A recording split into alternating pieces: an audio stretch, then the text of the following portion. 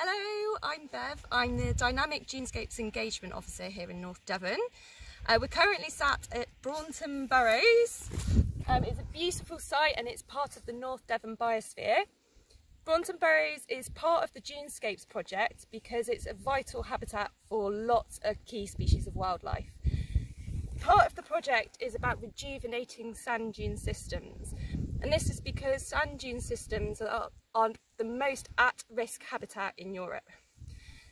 Part of the rejuvenating process will be creating lots of bare areas of sand and creating some dune slacks which will provide water for reptiles and amphibians. Some of that work will be happening here at Braunton Burrows and also at Woolacombe Sand Dunes. Um, the project, it's really important that volunteers are involved in the project and we have lots of volunteer opportunities for you to get involved with.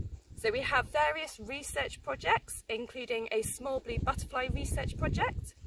We have historical record projects as well. If you're interested in history, we would like you to get involved and retrieve some of the information that we have on Braunton Burrows. We have lots of opportunities for monitoring wildlife here and at Woolacombe Sand Dunes. So anything from butterfly and bee surveys and monitoring to plant surveys and monitoring as well. Um, if you're a student, we're offering four 12-month placements. Uh, so that's uh, people aged between 16 and 25. So if you want to get involved, please do contact me.